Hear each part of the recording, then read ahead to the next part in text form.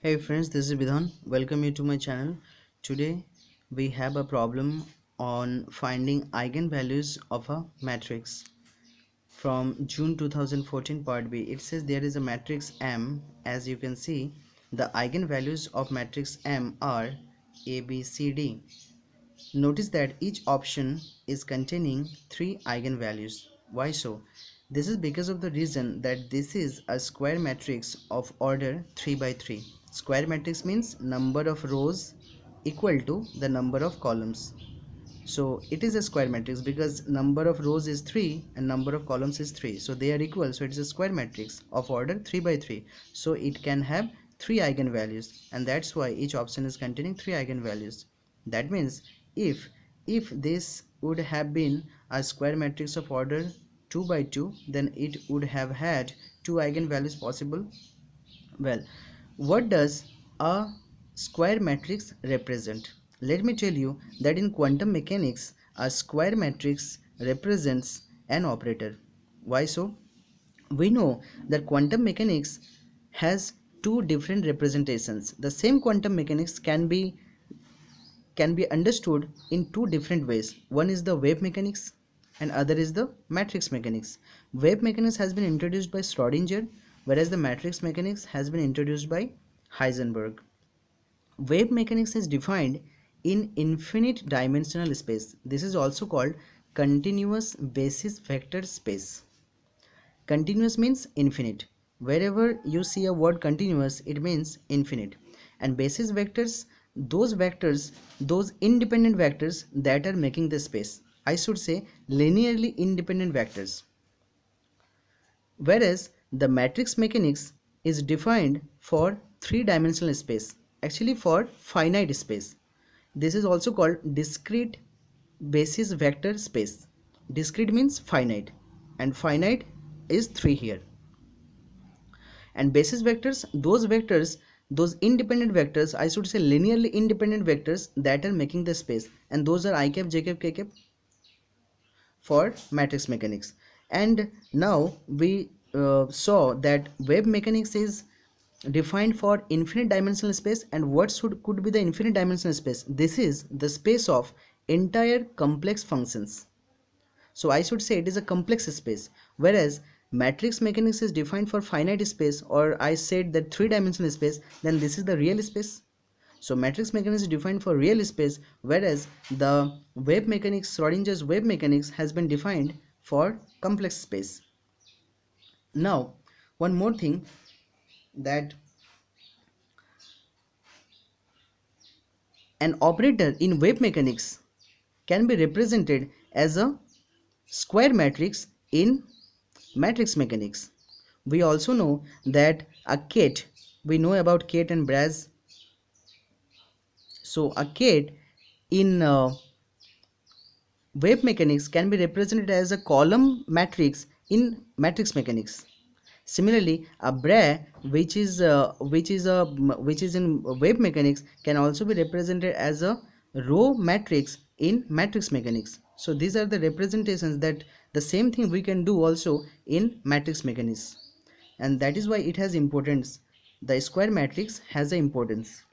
Well, we had a lot of digression but let us come back to our problem so when we have to find the eigenvalues of a matrix then let me tell you that there are basically two methods. One is using characteristic equation characteristic equation. And characteristic equation is a minus lambda i. I is the identity matrix lambda is the constant is equals to 0 sorry there is a determinant. Determinant of a minus lambda i equals to 0 and the second is using characteristic polynomial.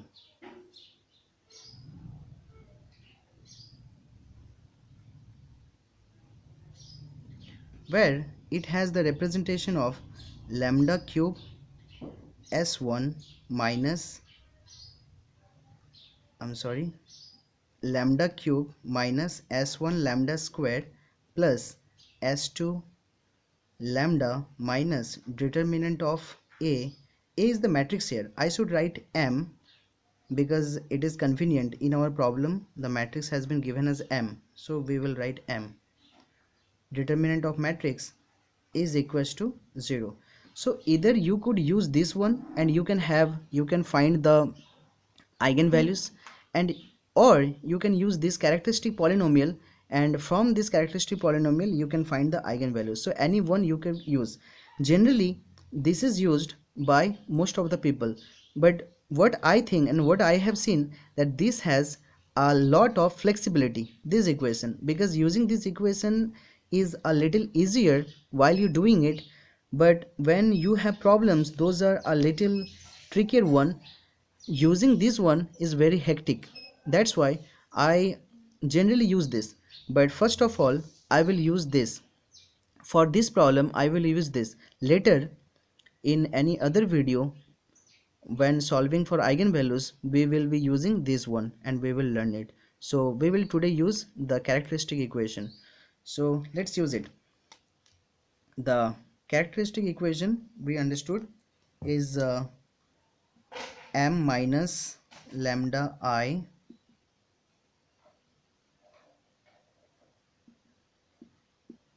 determinant equals to 0 now m is what?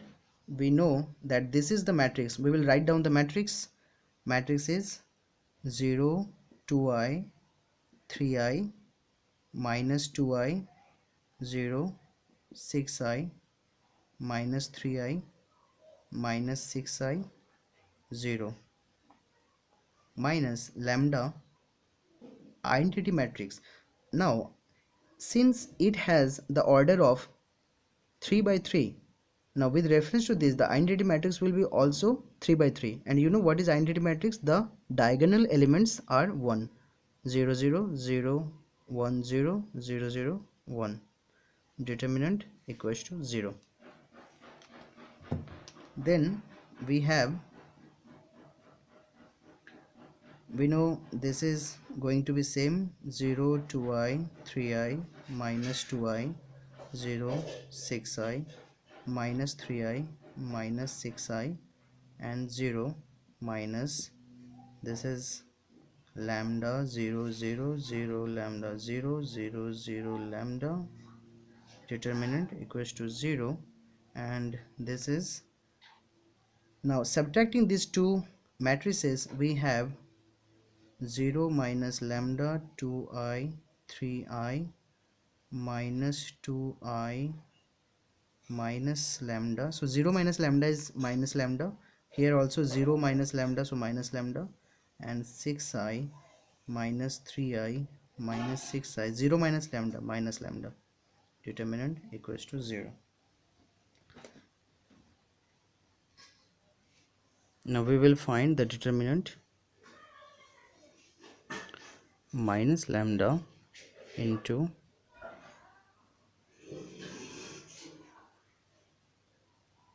lambda square minus of minus 36 i square then minus 2i into this into this that is 2 lambda i minus this into this that is minus 18 i square.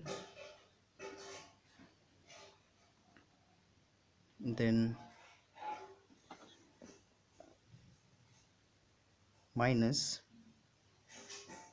then plus sorry plus 3i this multiplied sorry this will be multiplied and this will be multiplied. So 12 i square minus 3 lambda i. Now this is equal to 0 because determinant was equal to 0 then we have minus lambda and this is lambda square minus minus plus then i square is a minus. So minus 36 minus 2i this is 2 lambda i minus minus plus but i square is minus. So minus 18 then plus 3i 12i square that is minus 12 minus 3 lambda i equals to 0 then we have minus lambda cube minus minus plus 36 lambda. Then it's minus 2 to 4 lambda i square. Then it's minus minus plus 36 i then 36 i then it's plus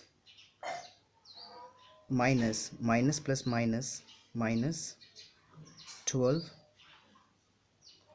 uh, sorry 36i let us write here minus 36i and then minus plus minus 9 lambda and i into i i square so finally we have one thing is that here minus 36i plus 36i cancel each other. So we have minus lambda cube plus 36 lambda. Now i square is minus 1 so plus 4 lambda. And here i square is again minus 1 so plus 9 lambda is equals to 0 sorry here it was equals to 0 0 0 0 okay. Then we have minus lambda cube plus 36 4 40 49 49 lambda is equals to 0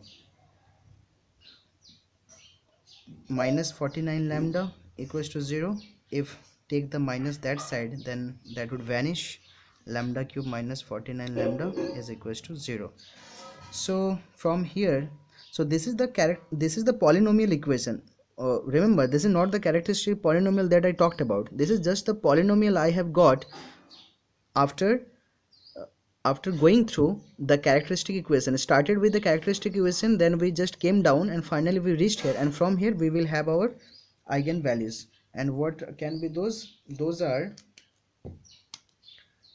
we will take lambda as common. So it will be lambda square minus 49 is equals to 0 that means individually lambda is 0 and individually lambda square minus 49 is equals to 0 and that means that lambda square is equals to 49 and lambda is equals to plus minus root of 49 and this is equals to plus minus 7 so we have finally finally we have lambda is equals to 0 this is 1 and lambda is equals to plus 7 and lambda is equals to minus 7 so these are the two third three eigenvalues that we have.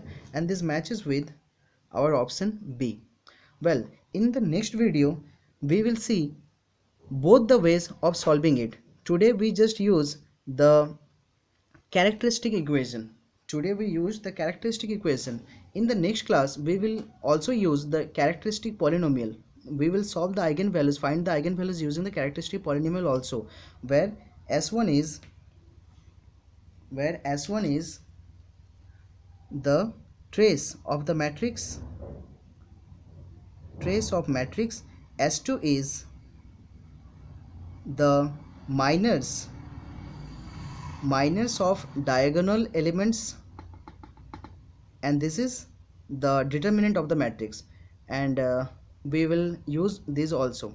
Well so for today we have the answer b